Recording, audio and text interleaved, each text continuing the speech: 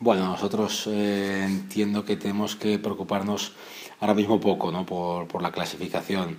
Eh, sabemos que ganando mañana estaría muy encarrilada, pero lo importante es que, que, que ganemos y que, que, sumemos una victoria más y que nos mantengamos eh, entre los cinco primeros, ¿no? porque aún quedan muchas jornadas y veremos qué puede ocurrir. Sí que es cierto que bueno, el año pasado pues, con cinco victorias el equipo se clasificó pero hay que intentar pensar poquito en esto, más pensar en hacer un buen baloncesto, en, en, en trabajar bien durante todo, todos los minutos sobre todo en defender bien. Sí, básicamente, yo creo que es lo mismo. Eh, han fichado solo Pova, que es una buena jugadora, y una jugadora joven, pero de muy buen nivel. Y viene haciendo el mismo baloncesto. Quizá, pues bueno, en las dos primeras jornadas, o toda la primera, eh, fueron capaces de, de, de sorprender a Polkovic en su casa y en la segunda, pues contra nosotros, quizá hicieron el mejor partido ¿no? que han hecho en, toda la Euroliga.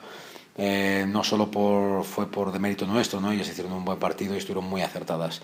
Mañana va a ser un partido importante eh, en cuanto a que tenemos que, darnos cuenta que, que este rival va, necesita ganar. Entonces tenemos que también saber jugar con esos nervios de ellos, ¿no? ver que, que se vean con el marcador abajo será muy importante. Yo creo que todas están muy bien, hemos pasado una semana muy difícil, muy dura eh, con muchos viajes, el equipo ha podido descansar, ha podido entrenar, que eso es vital para nosotros, y creo que está muy mentalizado para intentar sacar la victoria.